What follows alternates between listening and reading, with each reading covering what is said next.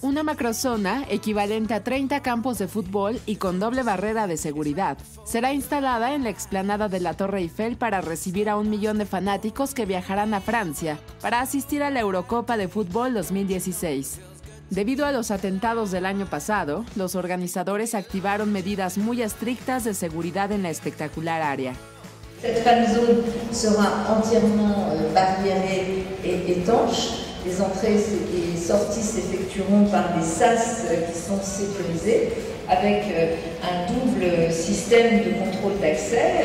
Les accès tels qu'on connaît d'ailleurs, le modèle a été pris sur les mesures prises notamment sur les grands stades, je pense au Stade de France après les attentats.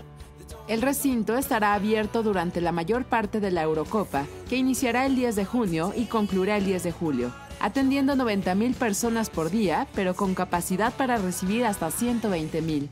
La zona contará además con restaurantes que ofrecen platillos de países de toda Europa, así como tiendas de recuerdos y campos para jugar fútbol, entre otras instalaciones. Con información e imágenes de David del Río, corresponsal en Francia, Notimex.